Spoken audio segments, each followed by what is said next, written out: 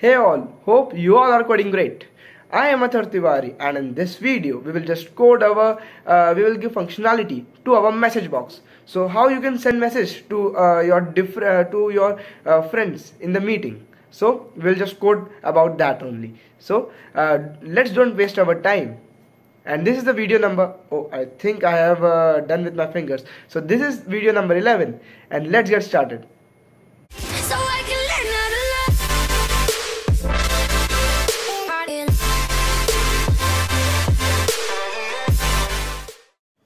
Okay guys so now we are on our screen. So in this video we will just code our uh, functionality for our chat window. So uh, let me first uh, get on our chat video. So for chat video let me just uh, share my chrome screen yeah. So i think you are now able to see my chrome screen. So here uh, you can see this chat window. So basically we will work uh, with this chat window. So how to send messages.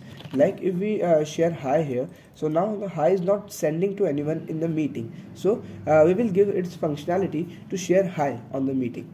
So uh, let's uh, just hop to our code to uh, give this functionality yeah. So now we are on our code. So uh, firstly we will go down at the bottom and after the share screen part we will just paste the uh, chat message uh, uh, that means the code for our chat part chat message button.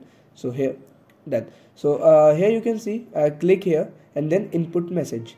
If the message has been inputted in that particular field then then if the uh, user click on send button then the message should be sent to the user. So uh, let's uh, check this out. Let me save this file. Yeah i have saved the file.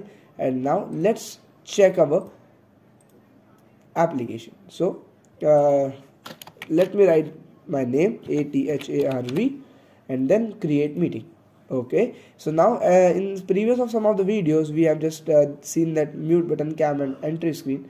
Uh, sorry. Share entire screen not entry screen. And then uh, let's share a hi here. Yep. So now Atharv has shared a hi. That means user are getting this hi message from Atharv. That means you uh, as I here written you that means a participant so I have shared a message called hello hi.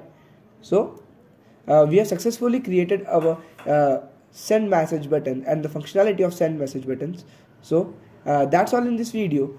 So thank you for watching this video. If you like this video just hit that like button below. Also subscribe to our channel for more